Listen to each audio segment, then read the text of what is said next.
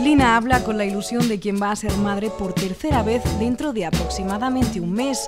Y es que la maternidad ha vuelto a llamar a su puerta siendo ya sexagenaria y después de un tratamiento de fecundación in vitro. Es médico y va a ser mamá dos décadas después de haber pasado por la menopausia.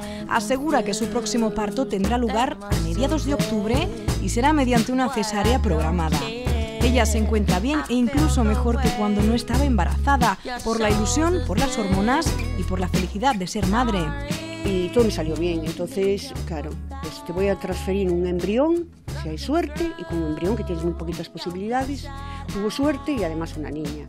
Entonces, claro, es que no se puede pedir más en la vida, porque mejor imposible, el embarazo resultó extraordinario porque me rejuveneció, me, bueno, me colmó de muchísima felicidad el embarazo.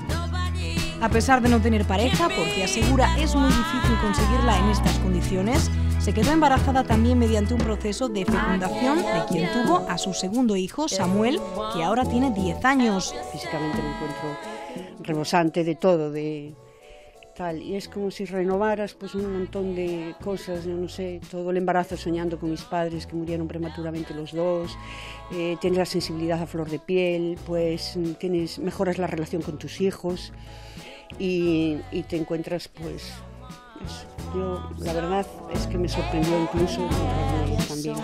Dice no ser ajena a las críticas por los riesgos que puede suponer su embarazo, porque igual le ocurrió cuando tuvo a su hijo con 52. Le criticaron, pero tiene claro que es una madre más y que no tiene conflicto generacional con sus hijos. Una mujer abierta a la vida y sana en su tercer trimestre de embarazo.